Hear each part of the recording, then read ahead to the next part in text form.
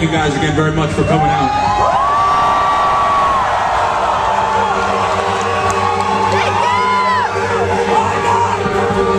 This one's